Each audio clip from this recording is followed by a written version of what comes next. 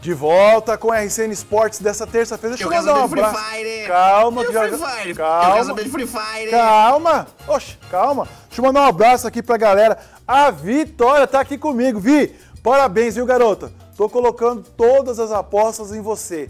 Treina, foco, que você vai longe. A Mariana Silva também está comigo. A Daiane Oliveira falou orgulho da nossa cidade. Isso mesmo, Daiane. Três Lagoas é Três Lagoas. O Ramon também está aqui comigo. A galera sintonizada no Facebook, participando comigo. E claro, na sua TVC HD, canal 13.1. Agora sim, vamos falar de videogame e esportes. Toda terça-feira, o RCN Esportes é invadido pela galera que se amarra aí nos jogos eletrônicos. E hoje, a nossa jornalista especializada em games, a Carol Begelini, traz todas as atualizações dos jogos COD e também Valorant. Se liga! Boa tarde, Israel. Boa tarde para você de casa. Depois de alguns pedidos pelo Facebook e Instagram, hoje eu trouxe algumas atualizações sobre o Valorant, um game que também faz parte da produtora Riot Games, mesma desenvolvedora do LoL. Bom, para os players de plantão, a notícia é boa. Com mais ou menos um ano e três meses de lançamento, o Valorant tem em média 14 milhões de usuários ativos no PC.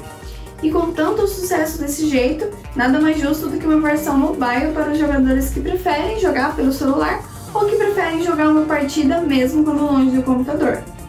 Sem revelar mais detalhes, a Riot diz estar se preparando para expandir a franquia e trazer Valorant para mais jogadores ao redor do mundo. Por enquanto, não há previsão de lançamento, mas eu prometo trazer mais detalhes assim que a novidade for divulgada.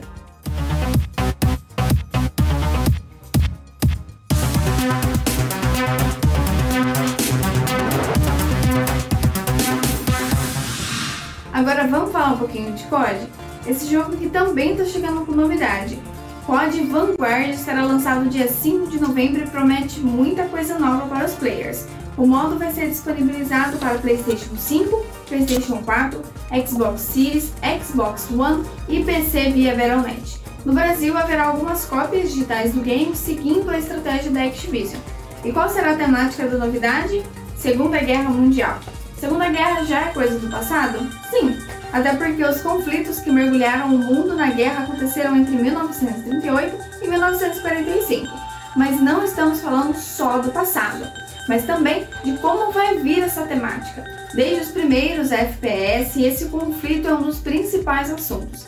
Seja usando uma roupagem mais fictícia, como em Wolfenstein, ou tratando de batalhas mais reais, como no Battlefield 1942. Então, depois de tantos anos e visões em cima desse tema, será que a Segunda Guerra ainda tem mais para oferecer? COD Vanguard quer mostrar que tem. Então, vamos aguardar esse lançamento e fiquem ligados na RCN Sports que eu vou continuar trazendo essas novidades para vocês. Até o próximo programa. Caraca, Carol, hein? Mandou benzaço mesmo, hein? E olha só, você que é como eu, né? Que achava que videogame era só diversão de crianças, meu amigo, em Campo Grande terá uma competição de Free Fire e Clash Royale com prêmios de 4 mil e meio, 4.500 reais. Já pensou? Os prêmios variam de 500 a 4.500 reais, dependendo da colocação dos participantes e as inscrições para a primeira edição dos Jogos Eletrônicos Campo Grandense pode ser feita entre os dias 17 a 30 de setembro no site jogosvirtuaispmcg.com.br. Jogos virtuais. P, desculpa, jogosvirtuaispmcg.com.br. O jogador que garantiu o primeiro lugar irá receber o troféu e o prêmio, ó, grana viva, R$ 4.500. O segundo lugar receberá a premiação de R$ 3.000 e o terceiro, milinho, milzinho aí na conta. E o quarto, agora 500 reais. Colocou a Carol aqui? Ó, quando eu falo pra você que, que esse povo é viciado, é viciado. Se liga nisso aqui, que isso aqui é, diretor? É uma nave espacial? Olha, olha a tela.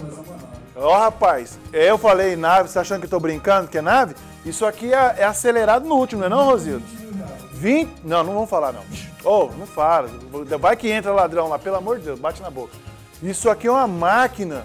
As... Olha, Carol, ó, você tem um microfone desse aqui? Eu não tenho, hein?